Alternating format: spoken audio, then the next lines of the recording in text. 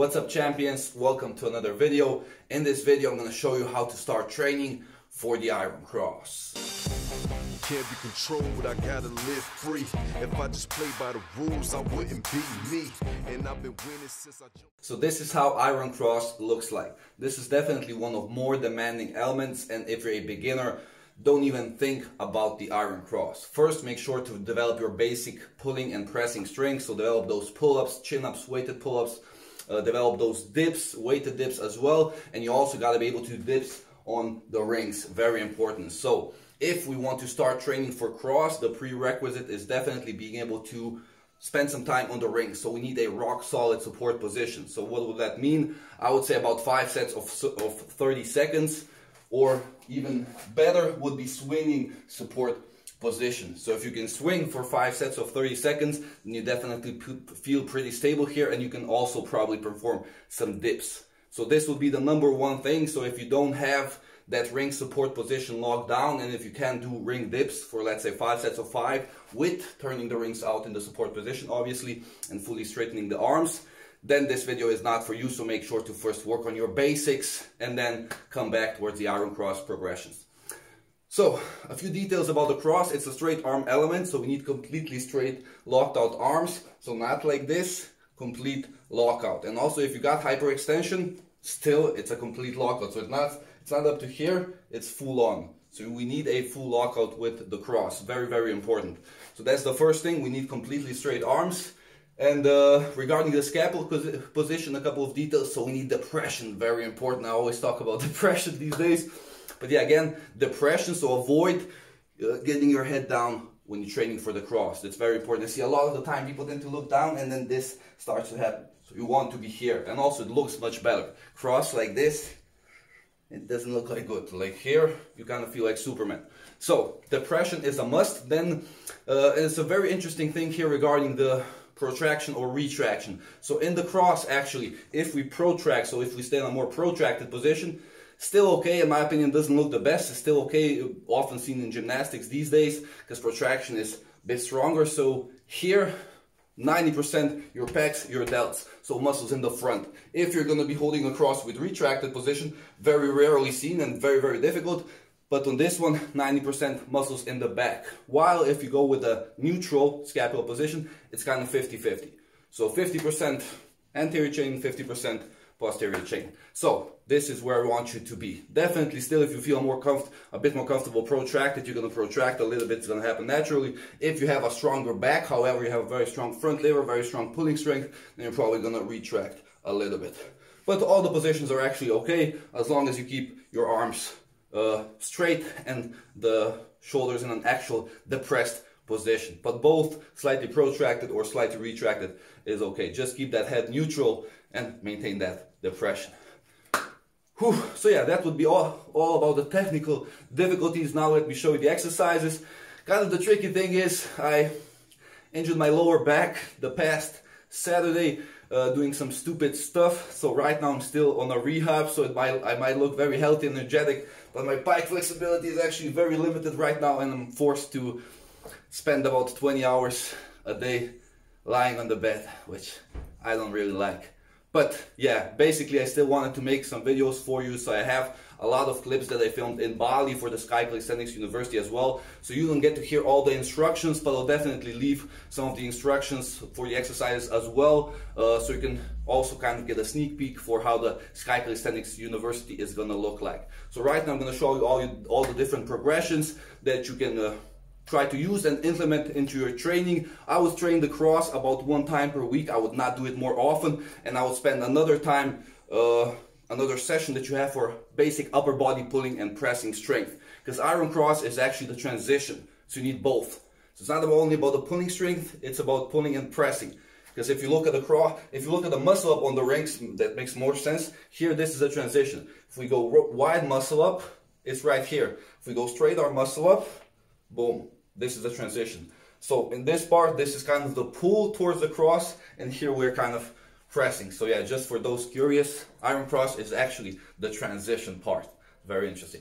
So yeah, I'm gonna show you all the exercises right now. Make sure to do everything with proper form. You're gonna feel some tension on the elbow, but make sure not to feel too much. So make sure you, you, you'll be strengthening, not damaging. So from person to person, it's completely different how much, uh, how much time and yeah, how many how much work they need for their elbows to prepare the stress that the iron cross is about to unleash upon you. So you definitely need to spend your time on the rings. For some of you, that's going to be more. You maybe have a bit more sensitive elbows, maybe a bit more hyperextension as well. For some of you, it might be very little accessory work for the elbows. But definitely make sure that you don't feel too much stress. So that's why iron cross is a very stressful element. So about one time per week, if you're already on that higher level and you can afford to train the cross, because even one time per week, it's actually a lot. If, however, not on such a high level, don't jump for the cross right away, but work on your weighted chin-ups, weighted pull-ups, weighted dips, weighted ring dips, and then come back for cross, and it's gonna happen much faster. But right now, let's enjoy the exercises. Boom.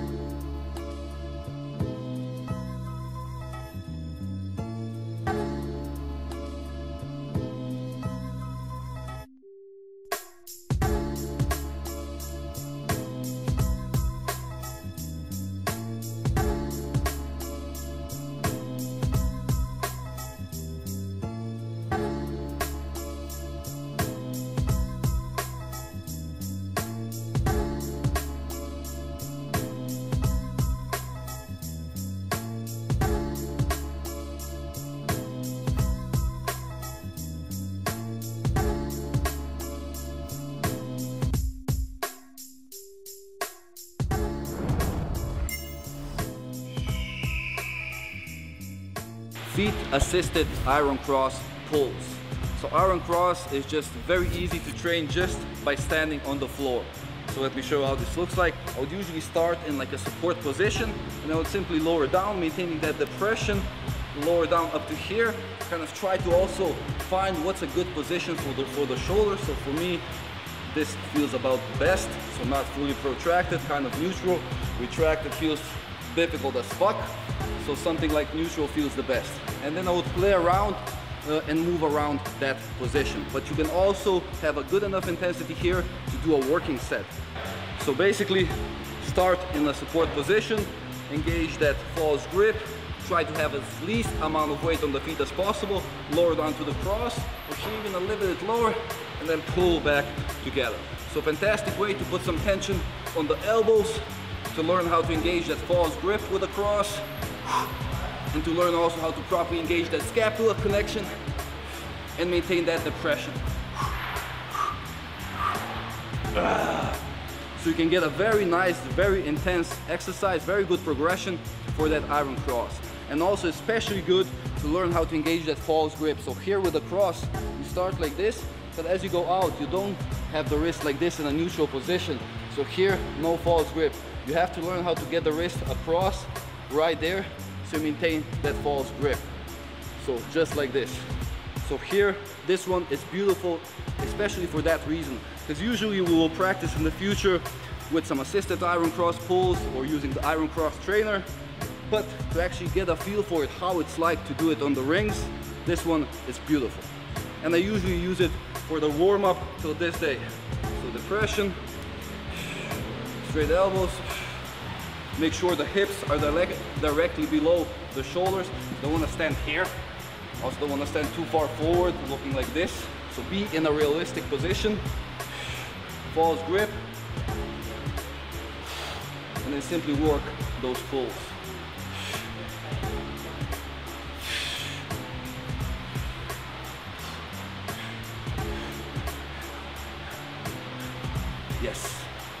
Ah, feels phenomenal. So feet assisted iron cross pulls, beautiful exercise, give it a try, learn it, love it, and reap the benefits. Boom.